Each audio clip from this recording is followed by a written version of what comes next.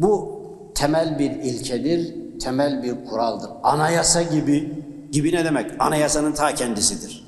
Diyor ki Allah Celle Celaluhu. Hiçbir mümin erkek, hiçbir mümine kadın Allah ve Resulü bir şeye karar verdikten sonra bir bakalım, düşünelim deme hakkı yoktur diyor. İşte hayat bu, anayasa bu. Eğer bizim yaptıklarımız, yapacaklarımız bu ayeti kerimeye uyuyorsa amenna ve saddekna. Öp başına koy. Eğer uymuyorsa anayasaya muhalefetten. Kanun teklifi anayasaya uymadığı zaman ne oluyor? Kanunu lağv ediyorlar. Anayasaya uymuyor diyor. Anayasaya aykırıdır diyorlar. Anayasaya aykırılıktan lağv oluyor. Geçersiz oluyor. Yani bir düşüneyim bakayım ben buna evet diyeyim mi demeyeyim mi? Sen kimsin ya? Mümin değil misin? Mümine değil misin sen?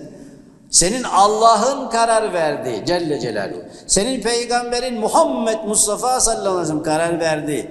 Bir düşüneyim neyi düşünüyorsun? Allah'ı mı tartışmaya başladın sen? Peygamberi mi tartışmaya başladın? Allah ve Resul ne dediyse doğrusu odur. Onu yapmak mecburiyetindesin. Yaparsan doğru yapmış olursun. Yapmazsan asi olmuş olursun.